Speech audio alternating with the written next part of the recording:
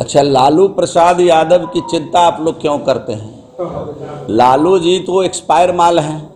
हम लोग उनका सम्मान करते हैं। राजनीति में तो अब एक्सपायर माल है। उन्होंने खुद ही इस बात को प्रमाणित कर दिया है। अगर वो एक्सपायर माल नहीं होते तो तेजस्वी यादव को अपनी कप्तानी नहीं देते। तो तेजस्वी यादव को उन्होंने आगे बढ़ा दिया है राजनीति करने के लिए।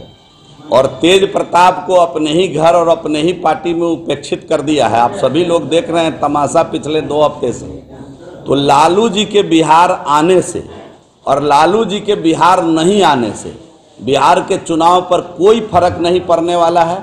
बिहार की दोनों सीट एनडीए भारी मतों से जीतने वाली है। साधारण नहीं, असाधारण मतों के अंतर से तारापुर और कुशेश्वर स्थान हम जीतेंगे। यह एकदम एनडीए का लक्ष्य है और इसमें सफलता मिलेगी जनता का यही रुझान है। तेजस्वी यादव तो लगातार यादव लगातार दावा कर रहे हैं कि बिहार में जब भी उपचुनाव हुए हैं उसमें महागठबंधन की जीत हुई ये क्या टोटका से उचलते हैं क्या? हम लोग जनता के भरोसा से चलते हैं जनता के विश्वास से चलते हैं वो क्या टोटका से चलते हैं? अभी तो उनसे पूछिएगा।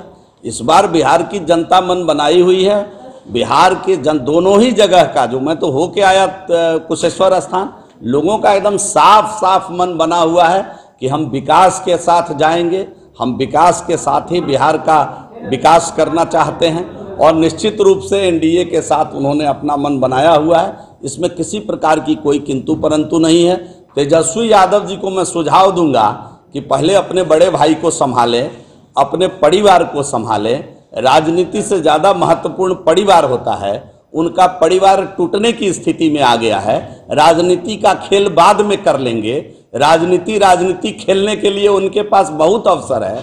पहले परिवार संभाल ले, परिवार दोबारा नहीं मिलेगा और परिवार ईश्वर जो देते हैं वही जीवन भर परिवार रहता है। उनका कोई सगा बड़ा भाई कोई और नहीं हो सकता है। अपने भाई को आहत करके वह राजनीति में किस मुकाम पर जाना चाहते हैं, अपनी बड़ी बहन को आहत करके वो किस प्रकार की राजनीति करना चाहते हैं, ये मेरे समझ से बाहर है और मेरा सुझाव होगा कि पहले परिवार को संभाल ले, फिर राजनीति राजनीति का खेल खेल लेंगे। अब यही तो कह रहे हैं कि उनको अपना अपना परिवार पहले संभालना चाहिए तेजस्वी यादव जी को। तेजस्वी यादव जी जो जिसको महागठबंधन कह रहे थे, जो अब लघु गठबंधन बच गया है जो राष्ट्रीय पार्टी थी, कांग्रेस, वो अलग उम्मीदवार उतार के महागठबंधन को बाय बाय कह दिया, टाटा कह दिया, और आज तो उनका बयान आया है कि हम फ्रेंडली मैच खेलने नहीं आए हैं। मतलब गठबंधन टूट गया, अब आमने सामने की लड़ाई लड़ने आए हैं। तो तेजस्वी यादव जी को कहिए कि पहले महागठबंधन जिसको कह रहे थे, जो अब लघु गठबंधन बच गया है, उसको बचाने का काम करे, अपने परिवार को बचाने का काम करे फिर राजनीति राजनीति खेल लेंगे। हम लोग हैं तैयार। कोई प्रताप को ऑफ़र करेंगे बीजेपी में? अरे तेज प्रताप बीजेपी तो सबकी सबकी पार्टी है ना? किसी के बाप की पार्टी थोड़े है। बीजेपी तो सबकी पार्टी है। सबका साथ सबका विकास सबका विश्वास सबका प्रयास वाली पार्टी है। बुलाएँगे तो बीजेपी में जो आएगा सबका स्वागत है। लेकिन हाँ बीजेपी के लोग ज़रूर चारित्रिक रूप से एनालिसिस करते हैं लोगों का। और बीजेपी में अगर आते हैं तो सबका स्वागत है। ये तो सबकी पार्टी है। ये तो ऐसा नहीं है, बीजेपी में तो आपको क्या मालूम है कि हमारे अगले अध्यक्ष कौन होंगे?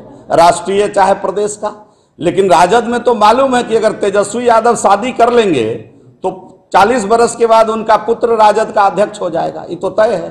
अगर ऐसा सिस्टम नहीं होता तो अब्दुल बारी सिद्दीकी जैसे नेता को किनारे क्यों कर दिया? मैं वकीलियत के भाइयों से सवाल पूछना चाहता हूँ। क्या अब्दुल बारी सिद्दीकी की काबिलियत तेजस्वी यादव से कम है क्या? राजद के अंदर, उनको क्यों किनारे कर दिया राजद? मैं सवाल पूछना चाहता हूँ कि लगातार जीतने वाले ललित यादव की अक्ल कम है क्या तेजस्वी यादव से? वो अपने ही पार्टी में जरा समझ लें और पूछ लें। मैं इस बात को आप सभी लोगों को बताना चाहता हूँ। इसलिए मेरा इस पर कोई क्रिया प्रतिक्रिया नहीं है, उनके यहाँ तय है। परिवारवादी पार्टी है।